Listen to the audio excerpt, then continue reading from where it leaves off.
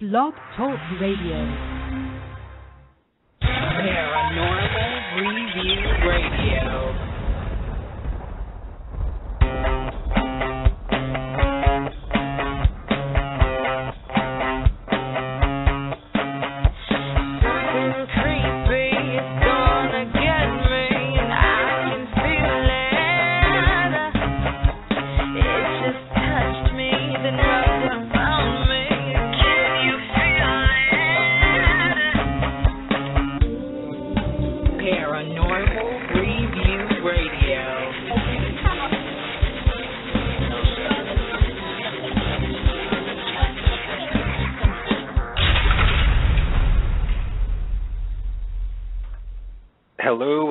Welcome to a special edition of Paranormal Review Radio.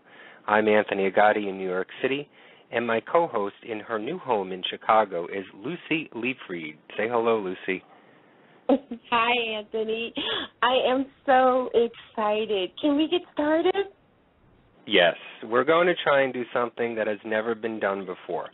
We're going to conduct a live interview with the famous Wanda Kay, DJ and tour guide to one of the most haunted places on earth, Bobby Mackey's Music World. What's never been done is the fact that we will be with Wanda Kay as she is working the stage and the dance floor in front of a live, full house.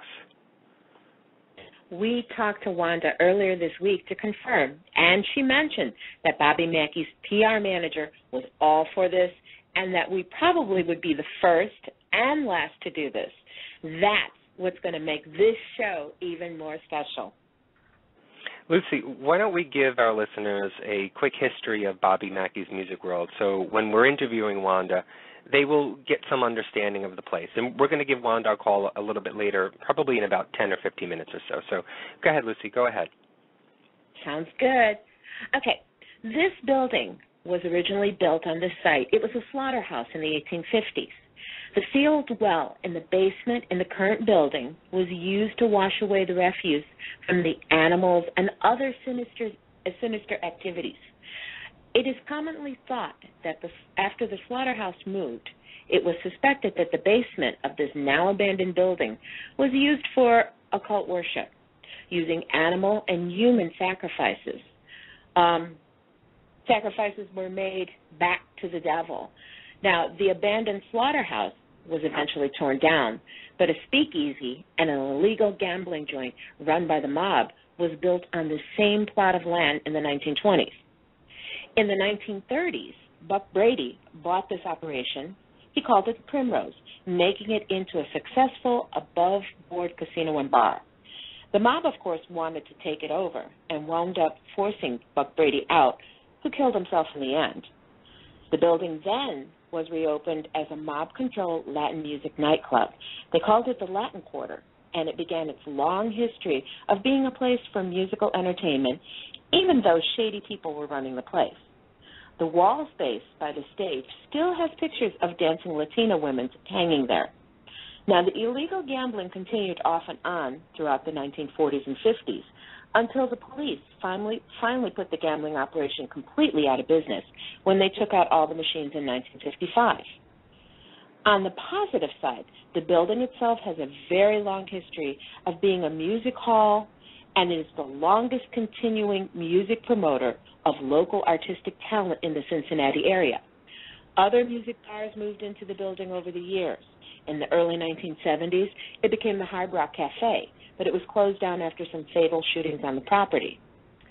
Bobby Mackey, an accomplished recording country music artist himself, bought the property in 1978, continuing to offer music entertainment.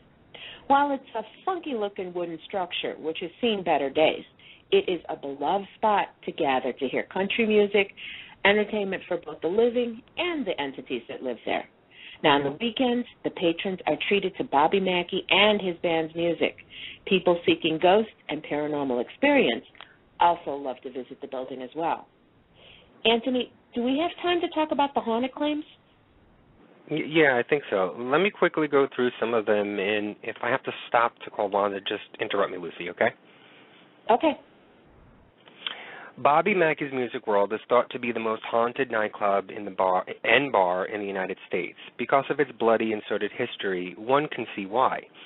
There was a sign, there was a sign actually posted on the door warning its patrons about the possibility of paranormal activity and to enter at their own risk. There are many possible sources for this unique gathering of ghostly company who can be rather rowdy. People and animal, animals were actually sacrificed to the devil in the basement. Murder victims from the speakeasy, illegal gambling operations, and the recent 1970 shootings still occupy the building, wanting justice or aren't ready to move on just yet. Entities of Pearl, Scott Jackson, and Alonzo Walling.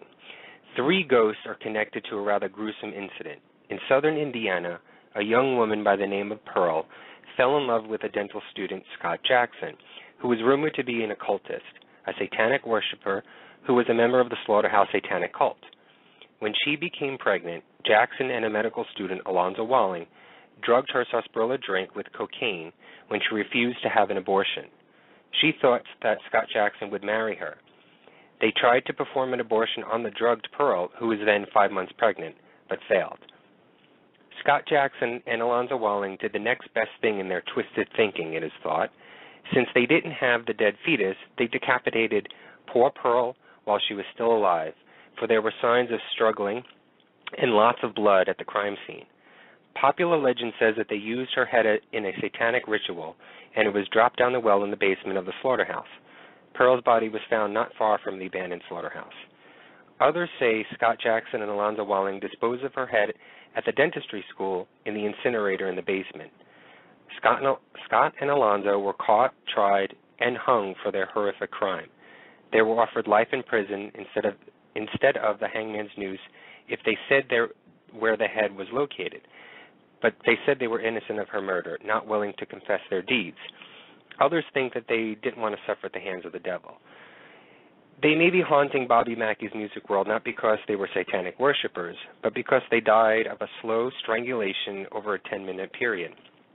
They blame Pearl and are haunting her as her spirit found this building appealing, which was the nearest place where she died. The entity of Buck Brady, as Lucy was talking about before, who was the Cincinnati mob, of course, wanted to take over the Primrose, and wound up making life rough for Buck Brady until they finally forced him to sell his business to them. He actually eventually um, uh, committed suicide. The entity of a little girl died in this building somehow, perhaps as an accident and another famous story of the entity of Johanna, who was the daughter of a Latin Quarter owner. She fell in love with a singer at the club and became pregnant. Hmm. Her father had her beloved had, had her beloved murdered. At five months pregnant, she poisoned her father and then killed herself in the basement.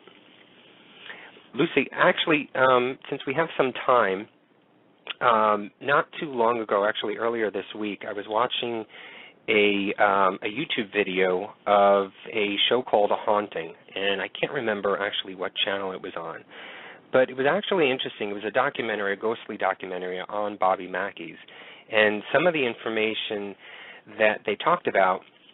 I had never known about. Um, I don't think it was talked, or if it was, I just don't remember from the tours that we did at Bobby Mackey's.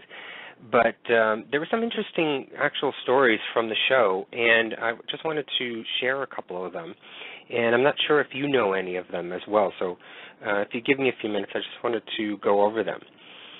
Sure. One of which, okay, one of which was, um, and it was a documentary basically uh, uh, uh with Bobby Mackey himself, and uh, they actually interviewed his wife and Carl Lawson, who Carl Lawson was sort of the janitor or um, the, the the maintenance guy, basically of Bobby Mackey's. When Bobby purchased the the um, the place in 1978, uh, Carl Lawson was actually working there prior to Bobby purchasing it, and came upon the place again and spoke to Bobby and became another employee under Bobby Mackey when he was opening up his place.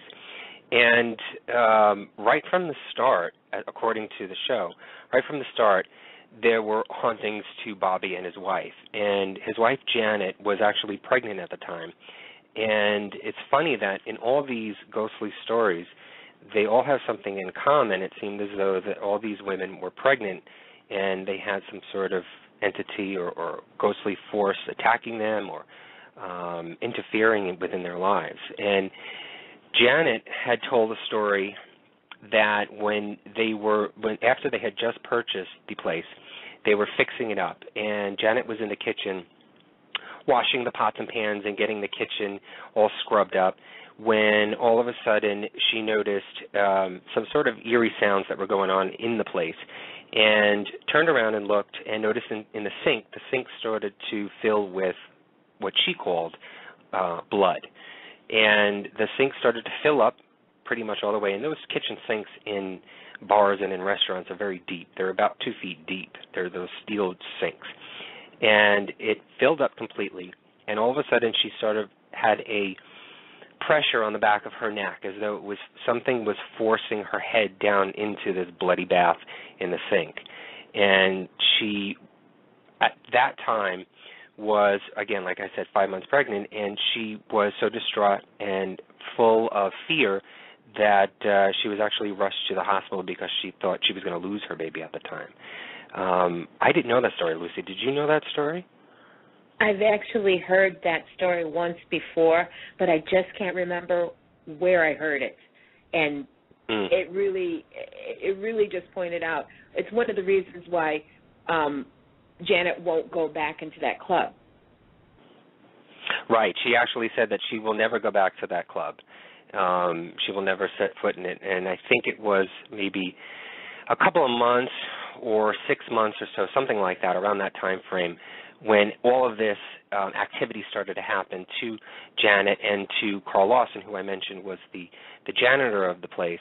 And a couple of things that was odd with Carl Lawson was that not odd, but um, strange that it sort of um, pointed him out basically. And a lot of things happened to Carl in the place. He Carl actually was the one that found Johanna, who I talked earlier about um, her father who had killed her her beloved um, because she got pregnant by him, and then she was so distraught she killed her father and then killed herself. But Carl Lawson actually found Johanna's diary, and it was located in the basement under some floorboards. And that's how we know about the story about Johanna, because she basically kept a really good diary of everything that was going on in her life. And her last entry is pretty sad. Um, her last entry, Johanna says that she, um, in so many words, basically said that she was going to kill herself and um but she had said that she would roam the halls of the place to wait for her lover to return and to this day there's actual um eyewitness accounts and experiences that involve Johanna and hearing Johanna and actually seeing Johanna in the place. And um, just quickly, another um, point that I wanted to make with Carl um, he was actually the one that actually found the well, which we'll talk about later, that's in the basement of the place, and he found it under a latch door, which he had never known, even when he worked there prior to Bobby owning the place. Um, and Carl was actually later on possessed by something in the place, but we'll get into that story a little bit later. Um, Lucy, I think we're about ready to call Wanda. Do you think we should call now? Yeah, let's give her a call.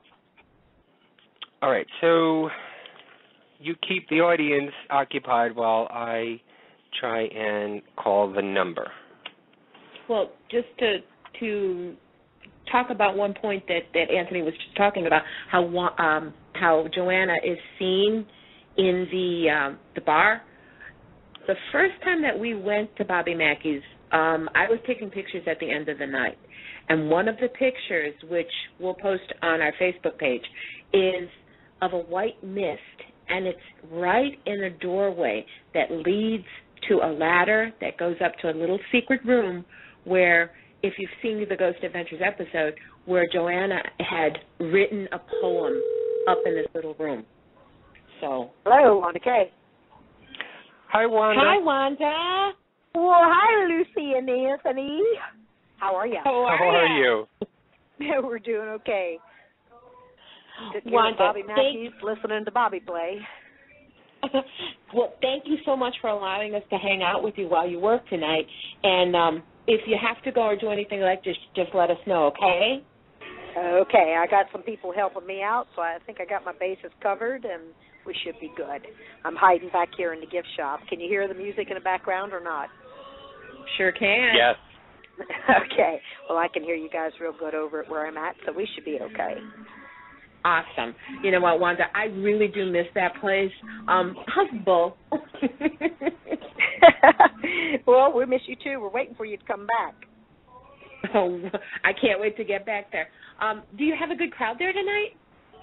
Uh, to to be honest with you, it's a little bit off tonight. I think what's going on is everybody is uh Christmas shopping tonight since they got their paychecks on Friday, and then we'll be packed tomorrow. Saturday night, you, you're always busting out the walls. Saturday, we usually wind up with maybe three or four hundred, but it's starting out slow tonight. And then, like I say, Wow. Saturday nights, uh, it's usually about 600 that'll pack through the building, so we'll see how it goes. But we're still having fun. I've, I've got about uh, 10 karaoke singers. We've been singing karaoke since about 8.30. And uh, like I said, Bobby just did take the band. Uh, my lovely assistant, Duke, introduced him for me so I could wait back here for the telephone. and we Oh, told everybody awesome. out there who we were talking to, so they all think it's kind of neat to keep peeking in the door here at me, see what we're talking about. I said, we're talking about ghostesses. Anthony? so, uh, how was Sean Happens last week, Wanda? Oh, awesome. Always packs this place all the time. And we got Danny Fraser Yeah. coming in tomorrow night, so they'll have to get here early or they won't get a place to park. They wind up lining them up down the road here clear to the Fourth Street Bridge when we get big acts like that. Right. And then next, let me see, next Saturday, no, it's Danny Fraser tomorrow night. So next Saturday, we're actually having a Christmas jamboree. Um, my granddaughters uh, will be singing here, and I got a, um, it's a cousin of mine, but it, she plays in a band too. She's won something called the Worldwide Karaoke Contest. But everybody that's singing are uh, very young people, 20s, and some of them are actually teen- teenagers that come in, entertain, that are from California and different places. So next week will be a new show. That's from uh, 8 to 10, and then Bobby always takes over after 10 o'clock. That's great. That's great. So, are there tickets for that, or is there donations or anything? Oh, they just get them here when they they arrive at the door. It's uh, five dollars a person. They're allowed to get in at the age of eighteen, uh, half hour before the shows start, but they have to have their ID with it. And um, Right. they'll mark them with great big red X's, so when they wake up in the morning, they definitely know where they were, so they they don't let them drink. But uh, anybody 21, I think it's five dollars for anybody 21 and up. I think it's ten dollars if they're 18, in between 18 and 21. So, how is Miss? How is Miss, Mr. Mackey? Can you tell our listeners what kind of guy Bobby Mackey is? Oh, you say what? How how he is? Yeah, it, well, give us a, give our listeners sort of like a um, uh, a little inkling of of how he is, how he's to work for, what kind of guy he is, and you know. Oh, okay. Well, let's see. Bobby's been here for 32 years. Most everybody knows that. He loves classic, classic country music. He's a very Yes. laid back, easy, easy going fella. Um, when he gets up and performs, uh, crowd always loves what he does. It's uh, like a novelty club here. It's the the only one in the area where he does uh, classic country music. You can hear it going on in the background. And then when I get Mhm. up, I do karaoke and I do line dance music, which is the exact opposite of what he does. But mixed together, these people have a ball. He plays for an hour, then I play for an hour.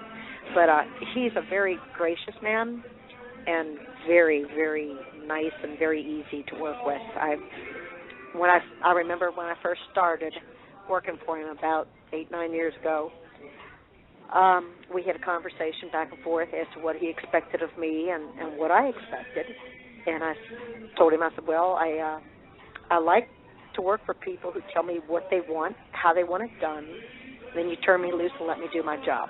You have my pay for Right. me at the end of the night, and I love it. And that's exactly the way it's been for for several years. I said, uh, once in a blue moon when we're here at work do I really get the chance to talk to him because when he's on stage I'm on break and, and vice versa. But uh he's a, a very nice man. He had um recently remarried um this past summer and Yes. his his wife is a very, very nice lady too. I love working for them both. That's great. He doesn't believe in the ghost though. He's all all I, yeah, I know that. I know. doesn't believe in the ghost. Don't want any part of that. Well, Wanda, uh, speaking of ghosts, so with all the reported activity that happens in there, you know, I do Mhm. have a question. How are you still working there? Very carefully and one day at a time. I love it. And you got you guys know that. I've been around it since I've been about six years old, so you get used to it. But um uh that's not to say that there have been times that my heart's been in my mouth and I've been ready to run out the door. right. Um, I I've learned to not let them see me sweat though. If they see that you get upset, then they tend to play with that particular person a little bit more. So I try to walk slow if I want to leave the building and not let them know they've they've spooked me. But there's been times they have. I don't like being in here by myself anymore. Mm. So, Wanda, that brings me to another question. So, how do you prepare yourself either mentally or spiritually before you go to the club? Well, I live about maybe 15 minutes away from the building. So when somebody calls and I have to come in to give one of my tours, I used to listen to the music constantly, but I turn the radios off, and when I start my way in, I start saying my prayers to my guardian angel, and I've got a guide that hangs out with me, and I'll ask them to stick with me too. And I feel like I've been here long enough that some of these spirits I've gotten to know. They they show up in different ways, or they just do little things, and you know which one it is, depending on which room it is that, that weird things are happening in. But I say my prayers all the way in, and when I come into the door, I tell them, "Hi, I'm here. I'm bringing some people in to visit with you today. We're not going to take anything or disturb you, you know, anything that belongs to you." So I ask them if they'll come play nice and don't scratch or bite anybody, and for the most part, we have a good time. They want to get ready to leave, I always tell them that they are forbidden to go home with me, that they must stay here, and I will come back to see them the next day and bring some more people to visit them too. And of course, I always tell other people when they take their tour to make sure that whether they say it as a quiet prayer to themselves or whether they say it out loud, to uh, be sure to tell the spirits that they are not welcome to follow them home, that this is their home and they have to stay here. That seems to be working. I've had them uh, shadow figure in my house twice over the years that my husband noticed, and so we salted and staged the house. And uh, ever since, that's when I started doing what I do now, and it seems to be working for me. And of course, I I keep my holy water, my prayer books, and all different types of stuff here, just in case we would have a bad ep- episode. And I've had to break them out a time or two, but for the most part, um, we do okay. I don't think I've got I've had to deal with anything demonic. I I really feel like the exorcisms that were done years ago pretty well took care of that, unless somebody Hmm. specifically tries to call something out. But um, I you know the spirits we have. Some are children, some are women, some are men, and some of them had bad attitudes before they crossed over, and they seem to have took them with them. But uh, Right. for the most part, I think we all get along okay. Well, you know, Anthony, you you've had a couple of our guys follow you. oh yes, I I know that for sure, firsthand. Now, Mhm. Wanda, you wrote a, an awesome book called "I Believe in Paranormal Things," which was published in 2010 and is full of amazing paranormal stories that you've encountered throughout your life. I highly recommend everybody go out and buy Wanda's book. I mean, the holidays are right around the corner. Check Amazon.com or, or go to Wanda's website, WandaK.com, for info. But I wanted to ask you, Wanda, out of all the stories in the book, what one Mhm. story stands out the most to you, or one that has had the most sort of impact on your life? Well, there's there's several in there that uh that'll jump to my mind first. Uh, the, the one I always like to, to tell about is when we had had the bands come in here to do a benefit, and one of those bands happened to be a rock and roll group. When they started playing their music, the PA system kept cutting out on them. The speakers would shut down, the microphones wouldn't work, so the sound men would run up there and start jingling wires and stuff and messing with them, trying to get them started up. And it'd come back for a few minutes and cut out on them again it worked perfectly for every other band the entire day till these guys got up. I made a little comment over the the microphone that uh you might want to play something else. I don't think the spirits like what you're doing. and the sound men and the other people who are familiar with the club knew what I was talking about and and respected what I was saying. But the band apparently didn't believe, and they laughed and shook it off and went about doing what they were doing. And within about ten minutes, the PA totally, totally shut down. They, they, it just wasn't going to happen. They weren't going to be able to play. So when it finally shut down and they started to come off the stage to give up, about six people in the, the main hall here, I seen them walking over to each other, tapping them on the shoulders and showing them their telephones. And that was kind of odd. You don't see that with several people all at the same time. So I walked over to one and asked him, what, what's going on? What's going on? She said, look at this. When that band stuff shut down, we started getting messages, and they're from 66666. Wow. One man by the name of Big Tom had his phone with the same numbers on it. Nobody else Hmm. had a voice message except Big Tom. And in the most demonic sounding voice I've ever heard, it said, Make them leave. I listened once, I threw the phone back at him, I did not want to hear it again. Oh my So god. uh that that was a pretty wild one. Um another really cool episode was I had um Crystal Brooks. She's with the Northern Kentucky Paranormal Society and they help give Mhm. tours here on on the weekends. So she was over in my DJ booth with me in between sets on a Friday or Saturday night. And I've got a friend that always likes to bring me a dozen roses. And I slide them in between the DJ window that's around my booth and in between my uh my system. It kind of holds them there snugly so they don't fall or anything. And I've done this for years, but this particular night while we were standing in the DJ booth, those flowers came to an upright position. wow. They tipped over and fell off of from behind the the, the DJ box, but Yeah. they didn't fall on the floor like you would think they would. They wound up coming over in front of the DJ box where our feet were and landed standing with the flowers upside down on the floor and the stem standing straight up in the air. We hmm. both looked at each other. I said, "Well, isn't that special?" we both laughed, and when I picked them up, the tops of the roses were all singed. So I took a picture of Oh. that, and we put that in the book too. So I've had a few incidents when it comes to the roses. I heard that one of the dance the dancers here used to get flowers too, and we get the smell of roses quite a bit. So maybe she was a little upset that the roses were coming towards me. I I don't know, but that Right. the two two incidents I thought were really cool that I, I will always remember. In, in in your book, you mentioned that the uh, the paranormal experiences started when you were just six years old. Uh, can you Mhm. sort of briefly briefly describe what happened when when you were a little girl and how you cope with it? Yeah.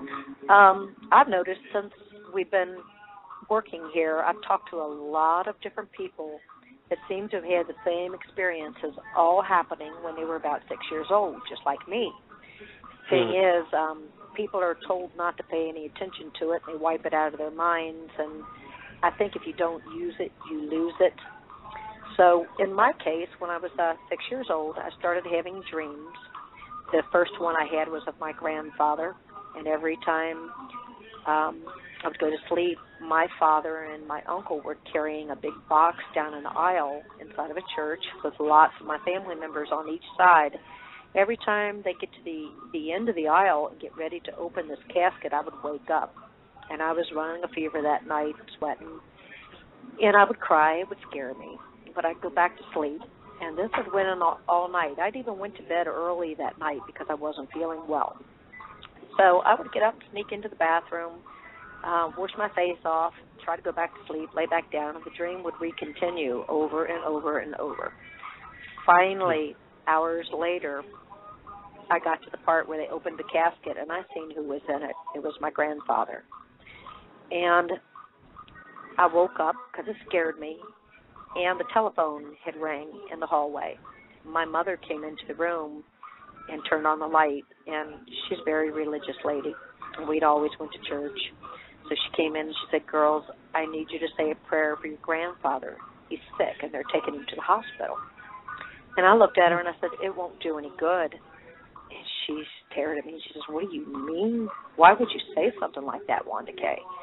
I said, "I've been dreaming about him all night, Mom." I said, "He's already dead. Grandpa died." And she she the the look she gave me when I think about it today, it it hurts. It it Yeah. it was not a good look. She looked like she was afraid of me. You know, it was a scary thing for me.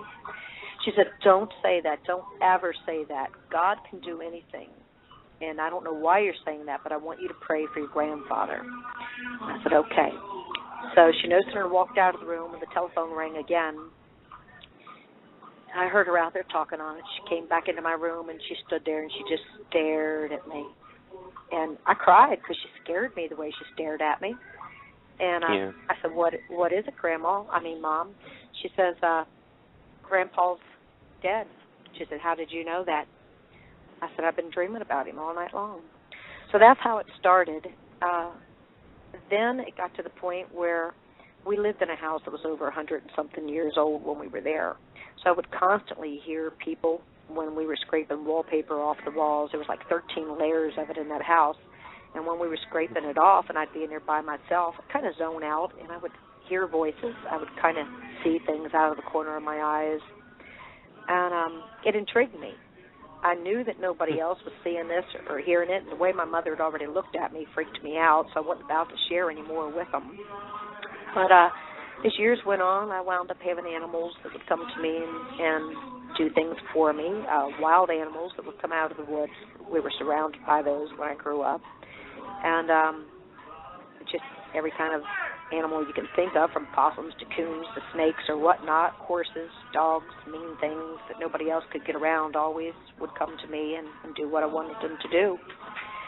And um, I would start studying books and reading up on psychic stuff, um, extrasensory perception, things like that. And I got pretty good at that type of stuff as I was growing up. But when I hit my 20s, I had been in a bad relationship, and the person I was with was hurting me.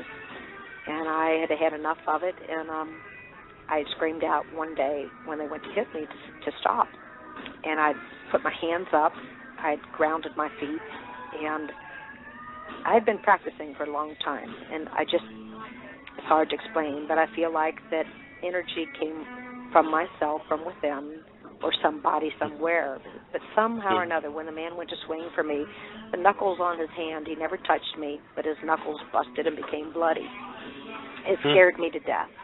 I thought, if this happened on account of me, if I had any bad thoughts towards anyone, I could probably hurt them, and it scared me to death. So Yeah. uh, I started blocking everything out, and for about 10 years, never talked about it. My husband that I've been with for 23 years now did not have a clue about any of my past history. I kept it that way. And uh, after I started working here at Bobby Mackey's and seeing how many people were interested in the paranormal and the stories like I had lived, I thought, well, now's the time I can finally come out and share what I know, and maybe people won't think I'm totally nuts or totally crazy.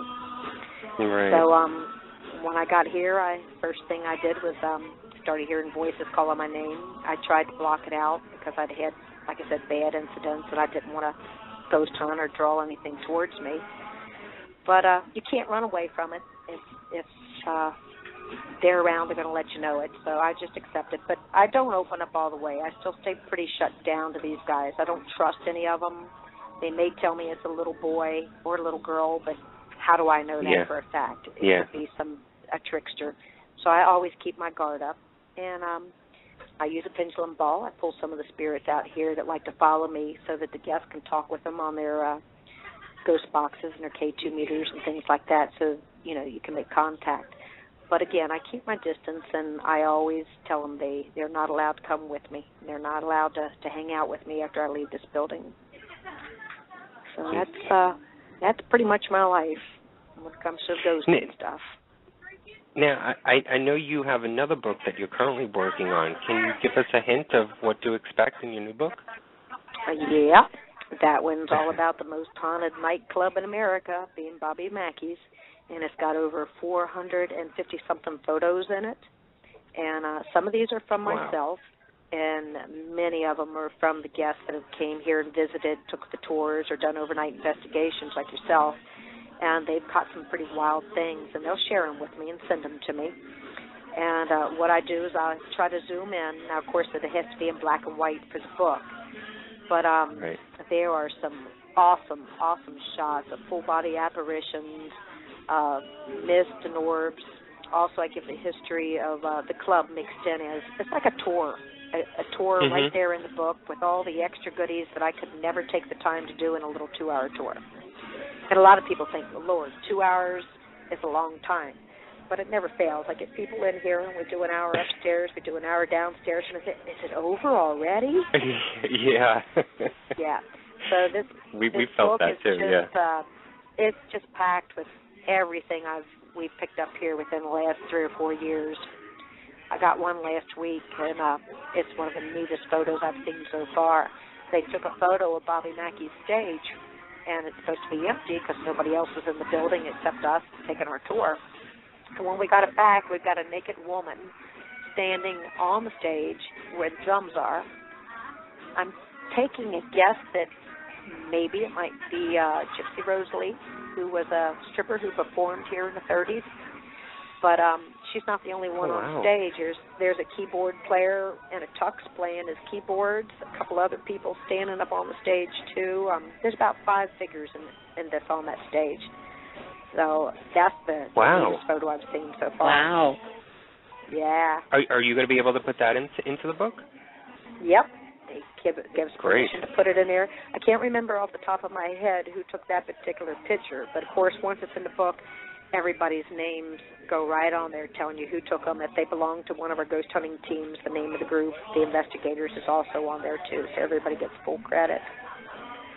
But um, no, there's no way I, I this book would be what it is without the help of everybody who's contributed. Oh, that's great. Um, when, and when could we when could we expect it? Well, like I said, if I didn't have so much else to do, two weeks would probably get her done. It's uh, in the middle of being edited right now, so I'm going to hope in January. I can't say with Christmas and the holidays, that's all slowing me down too. So I'm going to say probably about the second or third week of uh, January. And all you got to do is keep your eyes open on Facebook because as soon as it's done and I've got it in print, I'll definitely put the word out because I'll be so excited. I'm like, the book is done finally. Yeah, yeah. That's Um. Lu- Lucy, both- go ahead. Both books will be on Amazon.com Okay. and uh, wherever else Amazon throws it. But I always ask my friends if if they don't mind, if you're really going to purchase the book, go to WandaKay.com. Um, yes. any anybody who's writing a book, if you can get it from their particular website, it's going to help the author out so much more. I mean, we've invested years worth of research and time in writing these, and when you go through Amazon or some of the other places, they get 90% of what the book cost is. And if you go the other way, at least your writer's going to get at least part of it. So, Right. WandaKay.com, check it out. Yes, Wanda, highly we recommend. certainly will pass the word pass the word along when it when it comes out, and I know Thank both you. of us will will will go and definitely get that. Um, so Wanda, back in July of this year, you were on another radio show, Mhm. Wanda. Yes. Both Anthony and I were able to call and we spoke with you. Now, did you know that during your call with Anthony, we heard a voice come through while you were speaking and it said the word out. I had heard um, that particular uh, radio station, the, the person that was running it, had sent me an email the next day and told me they were going to send me um, a copy of it so that I could try to hear that for myself. But I never have got to hear it. But I, Well, I had Wanda- heard you were picking up some stuff. Wanda, I believe Anthony has a clip of that call. Would you like to hear it? I would love to hear it. All right, I'm, I'm going to play it right now. Yep, I'm going to play Okay. it right now. I had a set of earrings that my sister had got for me that were special made. Um, not anymore like these, like I said, special made. And when I went into the club, I don't undress or take my jewelry off when I'm at work, but it was laying there on the bar again. So they were bringing stuff from the house. So I saged the house and I salted it and said some prayers. Um, from that, told them to get out, and they did. And from that point on, ever since then, when I go to work, I pray on my way in. I envision myself surrounded in a white light that they cannot penetrate. And when I get ready to leave, I do the same thing and I forbid them. I do.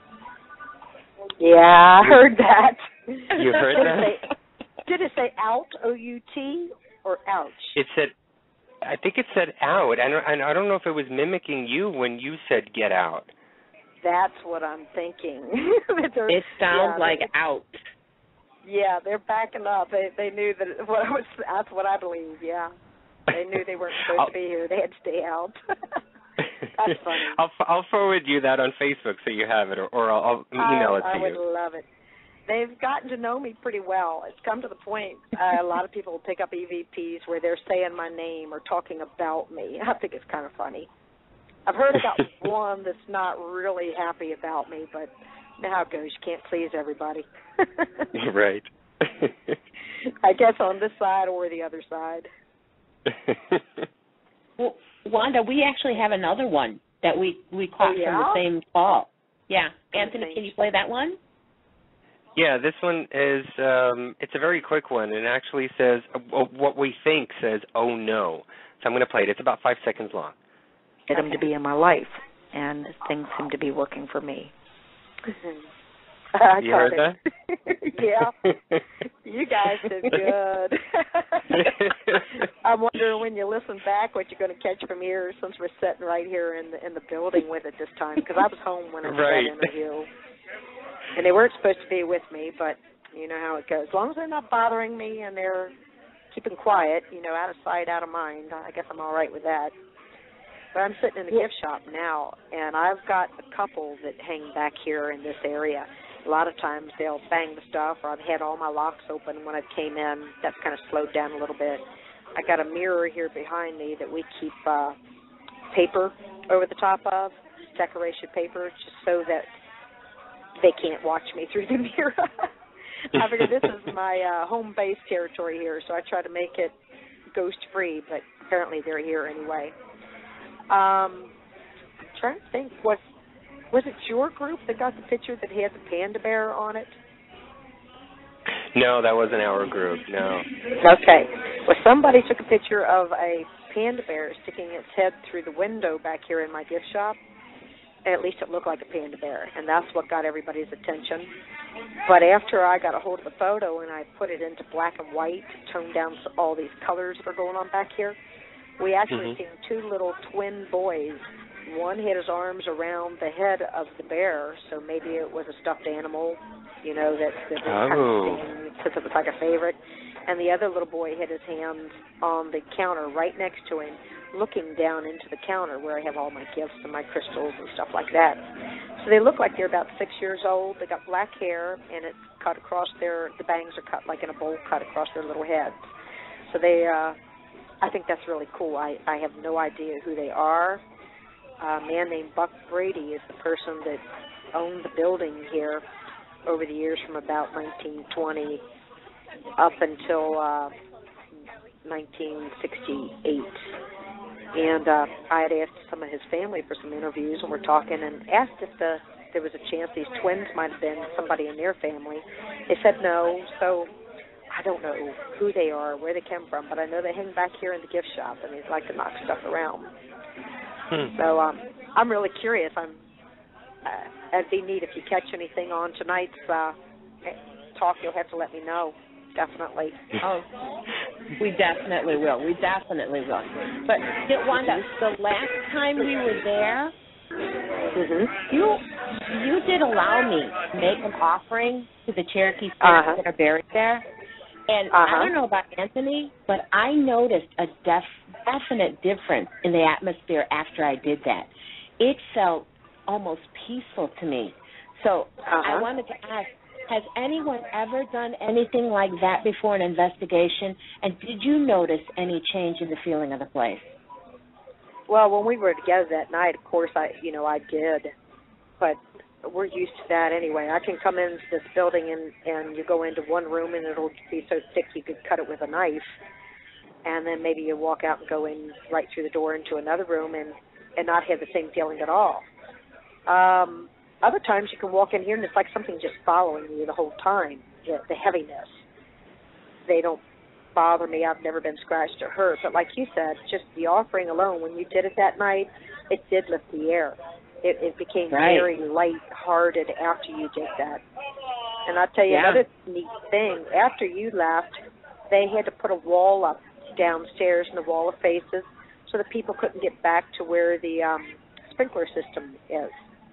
Mhm. And while they were there building that, your tobacco was sitting on the uh, table in that room, and they wound up moving it and put it up st- up on top of a two by four that was used to frame this wall, and then they were putting uh, chicken wire up to keep people from going back there. The caretaker had called me and wanted to know was anybody smoking in that back room because we forbid smoking in the basement, of course. And I said, Right. no, why are you asking? He said, well, I found these cigarettes laying on the table downstairs last night. I said, those belong to, to Lucy. She came through, made an offering. I told her she could leave them there. I said, but they're not smoked. I said, why are you asking if somebody was in there smoking? I said, you know, I don't allow that, and your cigarettes shouldn't look like they've been burnt. He said, well, the reason I'm asking is, did you have anybody in here last night? I said, no. Why? He said, because those cigarettes aren't there anymore. He said, they're up on top of the two by four by the ceiling. So he Oh and I were the only one. That I I think they moved them up there to say, "Hey, these are mine. Don't bother 'em." Oh, but that's the um, awesome. but we still got the uh Indian chief face that's on that back wall that's back there too. Now it's never went went anywhere. But the cigarettes are still up there on top of the two by four, and we got the chicken wire blocking them off where nobody else can get to them or move them or anything. And we still got some up on the second floor, and I put those into a big jug, um, a glass container, so that nobody would pick them up or walk off with them or anything. I did have one little girl pick some up uh, from downstairs one day and went to hand them to me, and um, she brought them up here to the gift shop and went to hand them to me. I said, "Oh, sweetheart," I said that was a, a sacred offering we had downstairs. I said we we ought to put those back. She was scared to death they were going to get mad at her or bother her for taking them, and um, she took it and set it back downstairs and told them she was sorry. I said that that ought to do the trick. So she hasn't had any trouble, but she came back last week. Um, a lot of people, you know how they do. They'll they'll do a visit and they come back a couple months later. But um, I'd asked her how things went because she brought up the subject about moving those cigarettes. I said, "Did anything ever bother you?" She said, "No." I said, "Well, you did the right thing. You put them back. You told them you were sorry. You didn't realize that that was theirs, and we had no problem with it." But yeah, it it was definitely made a difference when you did that that night. Wow. wow. I've got people walking in here. Our, our c- c- club is starting to fill up. They keep peeking in. They know we're talking on the radio here, so they keep waving and stuff. It's, I think it's kind of funny. They're afraid to, to talk too much for fear they'd be heard. So they're all standing outside the doors, peeking in here, watching me with my phone to my head. Uh, so. Wanda, you give tours at Bobby Mackey's, of course, and Uh-huh. there's private investigations that are done there. What can um, some of our listeners expect if they were to take a tour at Bobby Mackey's or actually do a private investigation? What, what could they expect? What could they expect to see or hear or learn from you and from the place? Okay. Well, the first thing you know when you come in, whether it's a tour or investigation, I have everybody sign a release form. It says if you fall down, you get hurt, you pee your pants, or you become possessed. People laugh at that, but you never know that we're not Oh, yeah. responsible for that. So, hey, girl, how are you? All right. Good. All right. Take care. All right. That's a couple of our res- resident ghost hunters here. Just come up to say hello. They're Oh, checking great. the place and going back out. But anyway, Great. once you get signed in, I take you through the building, give you a brief walkthrough, tell you the history of the club. If um, they want to stay in any particular place because maybe they think they're hearing something, or sometimes my sensitive people just pick up on other activity. So I allow you to stand there and, and try to communicate, talk if you want. Uh, we sell some ghost hunting equipment. We also rent some ghost hunting equipment that people are able to take with them, like K2 meters, um, laser lights, things like that. Uh, let's see. When we investigate, no, or even your tours, nobody else is in this building except us. It's shut down to the public. You have to arrange a um, appointment, so I come down and let you come into the place here. And then um, some sometimes, like I say, these guys aren't on the payroll, So I I can't tell you 100% that anybody's going to show up, but I've found out Right. that depending on the personality of the people that are coming in, is the spirits that are going to come out and and, and show themselves or make themselves known. We've got about 44 of them that I have names of at this point. That I've been saving names. We collect them from EVPs, and then uh, sometimes my psychics come in and they verify and validate some of the stuff that we've talked about in the past too. So um, I've got one by the name of George. It tends to be our grumpier ghost. Hangs out in the back room and up in the apartment. I've got uh, several ladies that have made themselves known, uh, especially since October of this year. And the one that seems to be in charge is called Bunny. And Bunny has a potty mouth like a sailor. Everything is F this and F that. and uh, then we've got a bunch of children. We've got about 16 or 17 of them in the basement. Uh, Joey likes to follow me around quite a bit. He's supposed to be 11. You know, I got one named Timmy. I mean, Timmy follows me, but Joey's usually in the basement. And we had a little girl named Sally who would always tell us to be careful of Marcus, that Marcus was bad. Well, um, I kind of get a kick out of Marcus, and he kind of gets a kick out of kicking people. I think we had a gentleman Oh, really? doing an invest. Yeah, he's in the wall, of, um, the well room downstairs, and he had tried to call the spirits to come out to communicate. One kept slapping him on the back of his head, and kept doing this over and over to the man. And finally, the man got a little upset and told the spirit, "I'm tired of it. You come to the front of me. You make yourself known. If you're going to communicate, come from the front." Well, I was sitting over in the wall of faces with some other people, but we could hear them talking back there in the well room. Next thing you know, I heard a big bang and clang and heard this man cussing and carrying on. And so we said we better go back there and see what's going on. He had been kicked in the shin, and it brought him to to his knees. So he limped the rest of the night, and uh limped when he went home. And we just laughed. I said, "I'm sorry." I said, "But I believe that was Marcus. He, that's just the sort of thing he does." so it wasn't no big demon or anything. It was just one of the kids. So we had some funny things that happen. They do have a sense of humor, and they will mess with you. Is, is there a specific spot in in uh, Bobby Mackey's that um, is more haunted than the others, or or is just No. seeing more activity than the others? No, it seems like there's no rhyme or reason. You can come in here at 12 noon. You could come in here at 12 at midnight. If they're going to be out and active, they're going to be out and active. If they're not, they're not. Um, doesn't matter if there's one person in the building or a thousand people in the building. Like I could say, there's about 44. It seems like they've all got certain areas that they like to hang out. I have four dominants that are in control of all the others. Um, Hmm. and the one we call Buck seems to be in major control. Then we've got uh George that when he tells them to shut up, they'll shut up and won't talk to us anymore. Uh, the one that stays in charge over the children goes by the name of Sir. I'll only say that once on our tours, and the rest of the night he is called Butthead because I believe that uh, I don't want to give him any extra energy or um, acknowledgement or anything because he is Yeah. a bad person that I'm I'm not very pleased with. Um, Mm. The fourth one would be Red, and we believe that he Mhm. was a hitman for the mob. They call him the Enforcer, and he shows up as a cowboy here. A lot of people get pictures of him, and they've. uh I believe that one of our TV crews that came in actually caught him on video too, so they've seen him on television. And But, he's uh, he's mostly in the basement though, right?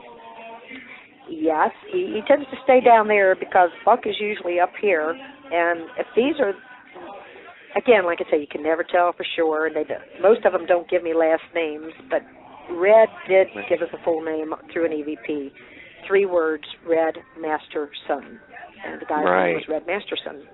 Hmm Um, we've asked him, since he was an enforcer, if he would mind stepping up to the plate and protecting the children from Butthead, and keeping Butthead out of the picture. And that was about three months ago. So every time I go downstairs now, um, he seems to be back there where the children usually are, are seen and talk to us. And he claims he's watching them. The children claim that they're watching too. So I think we'll be okay. Uh, you can get in. No. Okay. I had a friend come up wanted to know if I wanted to, to caretaker wanted to know if I wanted to hide in the back room so I could hear. oh no, we're fine here. This is where we like it. Yeah. So Wanda, it, it, it, you know, we, we talk about all the activity and experiences that happen on the investigations and um, you know overnight stuff. It, anything happen while Bobby Mackey's Music World is open and like right now? Is there Oh, ever yeah. been an experience or yeah? Always. Um, people go down here on these tours now when they're drinking. They get a little lively, and I get a lot of people who wind up scratched on a Friday or Saturday night because they want to go down there and kind of run their mouths and test the waters. Um, Right. One of the the most common things, though, is people will be standing around, or they may go walking through the club by their by themselves without anybody next to them, and you'll feel somebody push you, or hit you, or pull your hair. And when you turn Mm. around and you're ready to start arguing with somebody for doing that, there's nobody there. So I think they like to mess with us and stir stuff up. Uh, also, there's been many times that I thought that our caretaker was in the hall about 10 feet, 10, 12 feet in front of me, and I would be walking down the hall trying to catch up with him. And when we get to the end of the room, right about the time he turned the corner, he would vanish, and it wasn't the caretaker at all. It was one of the spirits. Oh wow. we get stuff like that that happens all the time, or people will set stuff down when you come back, it's gone. Sometimes it'll come back to where it was within an hour or so, or a few minutes. Other times it disappears and you never see it again. Just don't know where it went. Right. But uh, messing with you, pushing you around um, from behind is a pretty common thing on Friday and Saturday. Wow. Wow. Well, Wanda, I do want to thank you so much for taking the time to talk to us and letting us share the experience of Bobby Mackey's. I can't tell you how special this experience was for us. Now, you know, Oh, we're going to quite back all right. down there, and we we can't wait to see you. we can't wait for you to come back. I miss you guys. I've had fun with you like quite a few times. Well, So, we're we're wow. definitely we're definitely coming back. Okay. Well, I thank you so much for calling us and giving us a chance to talk about the place, and, and let you thank you for plugging my book there and letting everybody know about it.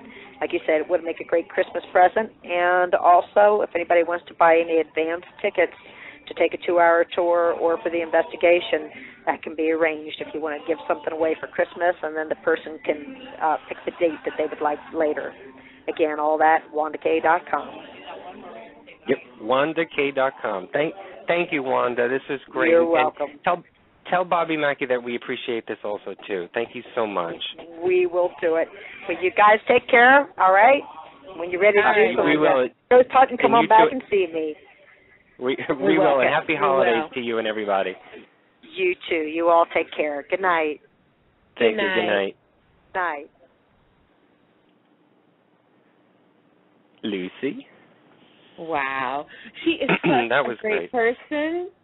this was such an experience. Oh my God, I'm so happy. You know what? She's such a great person. She's she was such a great hostess when we did our private investigations this year. And which reminds me, as she said, if you guys out there want to investigate Bobby Mackey's and you think you can handle those spirits in the basement, please give Wanda a call. Schedule a tour or private investigation. Go to wandakay.com. You'll find the contact info. You'll find the pricing. Please, you got to do it if you want to go there. Um, Anthony, are we are, are, are we um, good on time? Yeah, yeah, we're actually good on time. Okay, so can we start the review of some of the activity that happens in the place? Sure. Okay. So Um, a- go ahead. No, I, I'm sorry. Uh, apparitions. Um, they've been seen, and other occurrence, occurrences point to unseen presence in that building. Um, let's see. The entity of Alonzo Walling has appeared. There's been an apparition of a headless woman, Pearl, who has appeared to the people. A psychic has seen Scott Jackson yelling at the headless Pearl, saying that is all her fault. Pearl is fretting as she holds her head in her hands, and she's saying, "My head, my head." Um, like Wanda mentioned, there's the entity of a little girl that appeared in the basement. She threw rocks at the living. There is the entity of a boy, a victim of vicious thugs, and he appears in the basement as well. Um, the entity of Johanna has been seen by the living on stage right behind Bobby Mackey while he's performing with the band. She's also seen in other places around the building, and you can smell her perfume. It smells like flowers, and it's an aroma that many, many of the, the investigators have uh, experienced. Water faucets, they turn on and off by themselves. Lights have a mind of their own as well. And when the wife of an employee walked into the begil- into the building, the unplugged jukebox began playing the anniversary song, and that song wasn't even on the jukebox. Um, like Wanda mentioned, some of those spirits have known to be bullies and downright nasty. Many rough characters visited and worked at this place of entertainment while they were alive, and being dead hasn't improved their behavior at all. Um, let's see. Pregnant women, they're picked on by Johanna. Right after Bob and his pregnant wife Janet bought the building, she became the object of harassment by Johanna to the point where she almost miscarried. One such incident, she was grabbed around the waist and thrown down on the ground. Something pushed her from behind as she scurried down the, scare, uh, down the stairs. She heard a disembodied female voice yelling at her, Get out, get out, get out. Um, Carl Lawson, the former caretaker, was possessed by the spirits and underwent an exorcism in the early 1990s. Uh, ghosts have been seen by psychics hanging around the mechanical bull in uh, area and up in the caretaker's apartment. Entities have been known to start fights in the club by poking, touching, scratching people, and pulling their hair.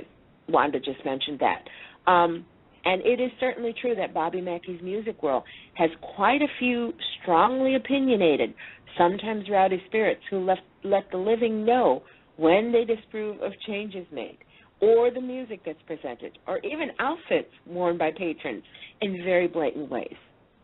Now, the sign, which is posted on the front door warning about uh, warning the patrons about ghosts, ad- was advised by Bobby Mackey's Music World's lawyers after a patron's clothing was ripped in the bathroom by a disproving entity dressed in a cowboy hat.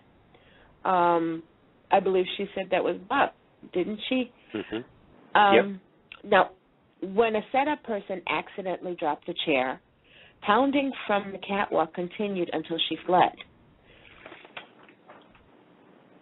Anthony? Okay, now we're getting to the good part. We're going to review our investigation at Bobby Mackey's. Yeah, I think we've had some great investigations, and I think this place could possibly be labeled as one of the best, including the evidence that we captured and the incident that happened to you and to me. So, Anthony, why don't you start the review with our first investigation back in June? Well, it was in June of this year, and we actually went along with the Klinge brothers, who had their own show on the Discovery Channel, if you know. Uh, it was called Ghost Lab. Barry and Brad um, were great guys, and they had invited a bunch of people to investigate Bobby Mackey's with them, and they actually did it for the first time themselves. And it was the first time for us. We had about four, I think it was four hours to investigate, and we were able to investigate every inch of the place, including um, Lucy, I think you did the old bank vault room, which I didn't get a chance to do that one, but you did that. Um, Mhm. And Lucy had an incident in the men's bathroom. No, not that kind of incident. She'll explain that later. But uh, a couple of interesting experiences that happened. I just wanted to go over some of them. Um, we captured this white rod-like orb um, that just floated through the air in the basement. We were down there just investigating, and I had my night vision camera on and we were facing it towards the back area of the basement. And what we had thought was a shadow coming from behind the refrigerator, um, we noticed uh, that shadow, whatever it was.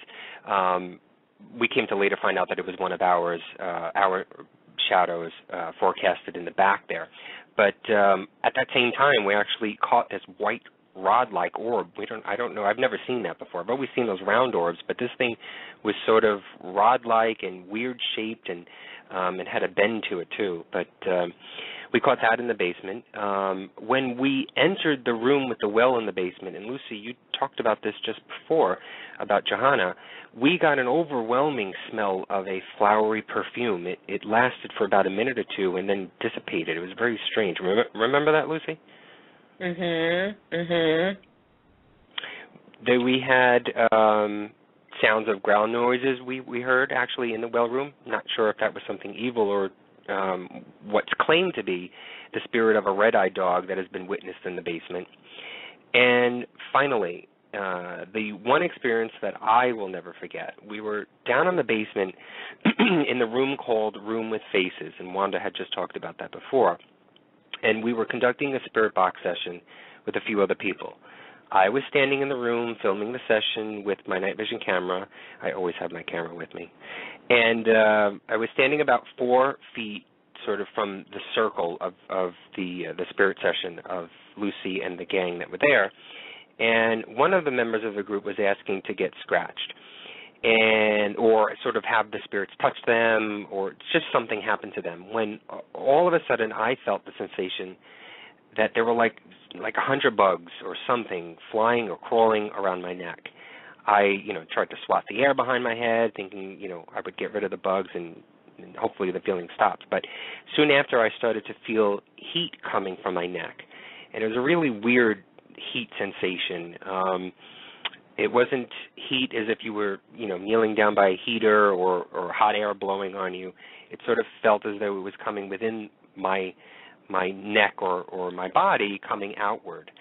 And um it was a slow, dull heat, but uh, felt like it was increasing in temperature as the minutes rolled by. And I, I asked a fellow investigator to shine their flashlight in the back of my neck to see if there were any bugs. And when she did, she noticed two scratches that ran from my hairline on my neck down to the middle of my back by my shoulder blades. And the heat and the burning sensation lasted for about five hours and then stopped. It, it never felt like fingers or anything like that, just sort of like a wispy feeling. I don't know. I keep saying bugs, like bugs were attacking me. It, you know, it did not feel as though someone scratched me. It just it was just a very odd thing. And we, we quickly went outside to take a break and catch our bearings from what just happened. And um, actually, um, the picture that we had taken of my my neck, um, I believe, is going to be in Wanda's new book that she's working on. Hopefully, that's going to come out in. Um, uh, in the spring, hopefully, or by the spring of uh, next year, 2012. But I uh, wanted to play the video or the audio, I'm sorry, of the moment when this all happened, just so you sort of get an idea of um, what the night was or what the feeling was of how it all encountered. So let me just play it for you. Do you remember which one? No. This one. Okay, we're sick of playing around. How many people are in here with us? Right, so the one that was with the devil.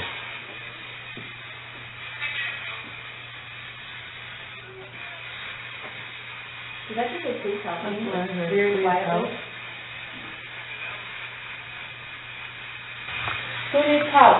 Ah, What was that? What happened?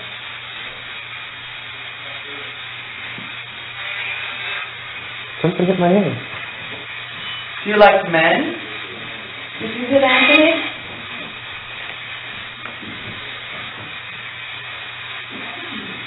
Really? Slap Anthony? A bug or something? I can't see it tonight, but I there's an interest flashlight. Did you slap Anthony? If you're scratched. No. Yeah, hello. Yeah, you are. No, I'm not. Yes, you are. You're scratched. Yeah, you are. You oh are. my God! Get outta here. That is right. You, have are. Two, you are. Two scratches. Get it on Two camera. scratches. Here. Hold on, hold on. Wait. Take this If off it's the off to the three, those are two good scratches. Okay. Wow. Is it? wow. Well, let me see, let me see, let me see. Do you need the light? Yeah, I need the light. It's fucking burning. Hold on. Oh, Sure, hold on, sorry about this. Go ahead. Hold the light on there. Is it two or three? I don't want. All right, good. They're right now deep scratch. They're long, long, and they're They go wide. down? Yeah, So we're- right here. Wait, wait, it said a third one, it said a third one. Where? No, That's no, the here. Ralston. Uh, Wow. holy cow, look at, hold I'm turning off my night vision. So we can. Holy shit. Yeah. We're not kidding. Holy shit. You have two Here, let me things, get holy Hold on, shit. Beth, hold on. Oh my god. oh, you know, once we got outside, I got the holy water out and I made sure I drenched your neck. And what mm-hmm. was really funny is the nicest person on the whole team was the one that got scratched. It was one of the many things that happened on our first investigation in June, and it really was a great one. We got some amazing stuff in that basement. There are some good EVPs, including one that told us to come upstairs. I'll kick your ass. Um, Anthony, I think you have the audio clip from that one. Can you share that with everyone? yes, I do. I'm going to play it right now.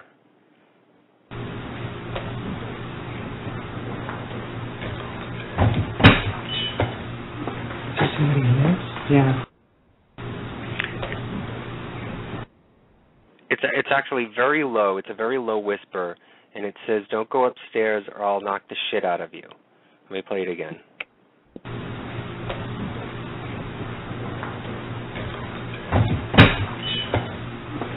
Somebody in there? Yeah.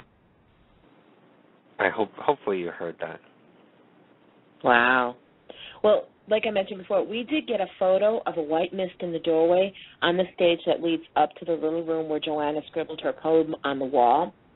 Um, and then during an EVP session in the men's bathroom on the first floor, I had all the energy drained out of my body. I became weak enough that I literally had to hold on to the wall for support and leave the rest of the team in the bathroom. Now, this is the first time I'd ever felt anything like that. Um, and then again, now on our second investigation, which was just this past October, um, as we talked about it, I did something in hope in hopes to appease the spirits um, that are there. And it said that the building is built on Cherokee burial ground. Now, burial grounds are sacred to the tribe, and in case you, I, I'm half Cherokee, um, so burial grounds they're sacred to the tribe. I could feel what was in the basement wasn't demonic, but to me it actually felt like a spirit or some other entity that wasn't happy with all the investigators, um, with bar patrons, criminals, murderers, all of the people that had spent time in that building. And I could sense it darting back and forth in the basement right before Anthony got scratched. So I had decided on our second visit that I needed to make an offering of tobacco to show some respect and to ask that it wouldn't harm our team. Um, tobacco is one of the four sacred plants that have been given to us as a gift from the spirits of the four directions. And it's used to create a bond between this earth and the Creator, and to create a bond between earthly and spiritual realms. Now, Wanda was kind enough to allow me to leave offerings of cigarettes all over the club before we started our investigation. And it, like Wanda said, if you go to the club today, those cigarettes are still there where I left them. Now, I asked the spirits to allow us to investigate without any harm during that night. And I do have to say, the atmosphere was so different than it was on that first visit. To me, it felt peaceful. It became quiet. It actually was nice. Um, Anthony, you noticed that too, didn't you? Yeah, uh, I was actually a little bummed that we uh, we weren't feeling anything, or or no activity was coming on. I mean, for almost the entire night. I mean, 99% of of the time that we were there on our second trip, nothing happened. I, I remember there was one time when we were in the basement, when all of us were in the basement, and Wanda was with us, and um she had said that she felt um the spirits bothering her. I don't not attacking, but they were just bothering her. They were around her. She had gotten that feeling.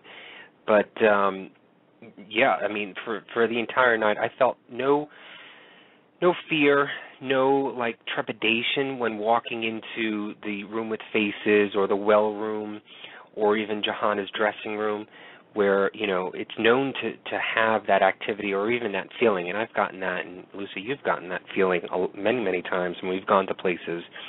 It's not so much fear, but it's it's it's the feeling that you know that something is there and something is around you or either watching or with you or um and I didn't feel that at all. I felt very calm, very peaceful and uh, almost bored to that point, but um something actually something actually did happen at the end of the night that was kind of weird which which I'll talk about. But um yeah, I mean it, it was much more calmer and and less heavy than it was from the first time that we were there.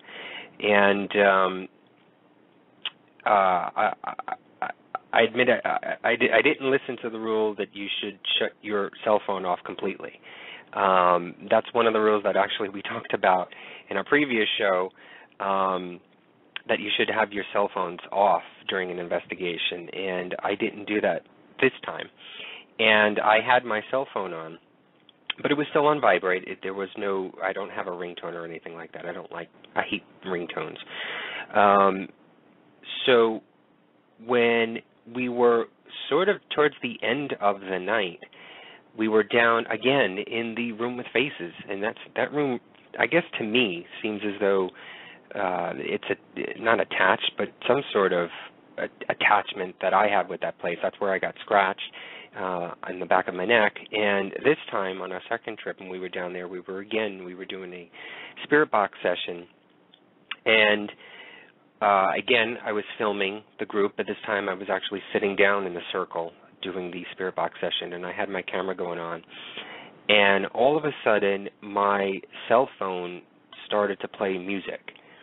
And, you know, it wasn't, you know, like Lady Gaga or LMFAO or anything like that. It was this weird, old melodic tone. It was a um, sort of like a horn um, maybe even like a French horn or something, um, but musical.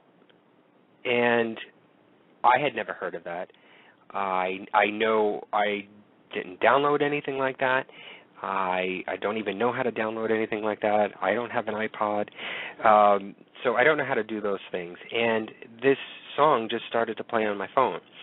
I pulled out my phone from the holster that I had on my belt, and I showed everybody, and I noticed as well, that my phone was locked. And after 15 minutes of not using my phone, it locks, and you have to enter in a code to actually do anything to it, and that sort of prevent, you know, the the infamous quote unquote butt dialing that people do.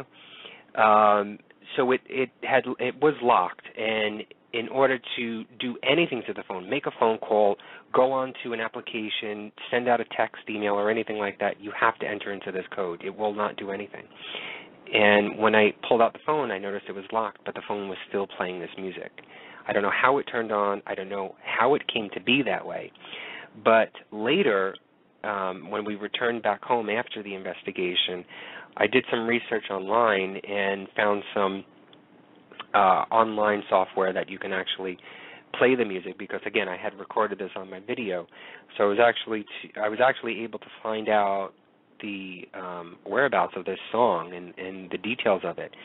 And the song is actually um, uh, it was a piece by Maurice Ravel, R-A-V-E-L, and the title of the song in its true form, and it's a French song. It's actually called Pavane, and forgive me for uh, debacling this this word. Pavane pour un enfant défunt. Um, that was a bad bad uh, translation. Um, but it's a French song, and, and it translates to English meaning "song for a dead princess," which I thought was pretty interesting. And it sort of questions: Could this be the song for Pearl Bryan um, from Bobby Mackey's, you know, or or for Johanna from her beloved boyfriend at the time that was killed by her father?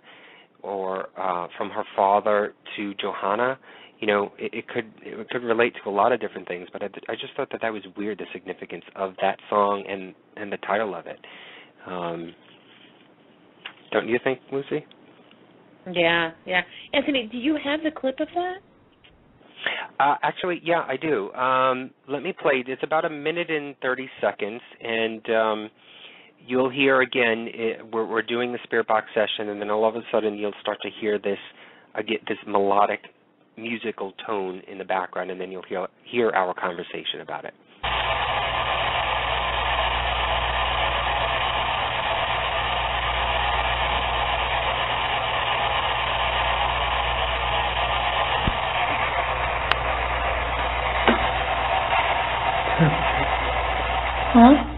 Terminal. Yeah.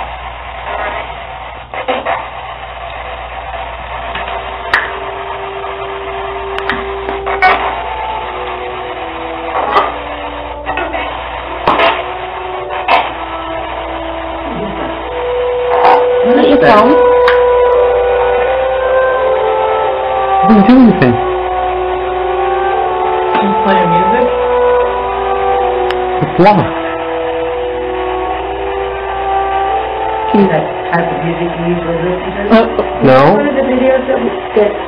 YouTube. No. It's nothing's on there. Like it's I don't want to press it because then I want it to go away. Anybody? Yes. That's what it's on.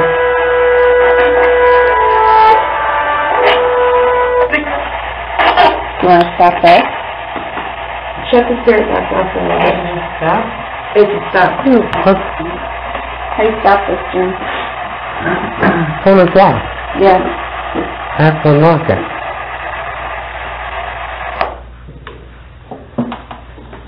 Did you just play with his phone?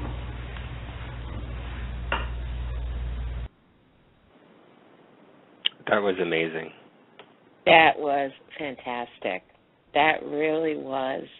Um, I don't know, Anthony. I don't. I don't know what you think, but Bobby Mackey's has turned in probably to one of my favorite places ever, and just the things that have happened to us there, just um, the connection I feel with Wanda, everything. I really cannot wait to go back there. I I, I don't know. I, what about you? I mean, it, it it's it's amazing.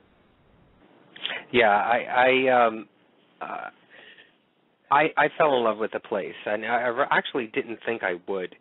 And maybe it was because of the experience that I that I experienced the first time that I was there with the scratch.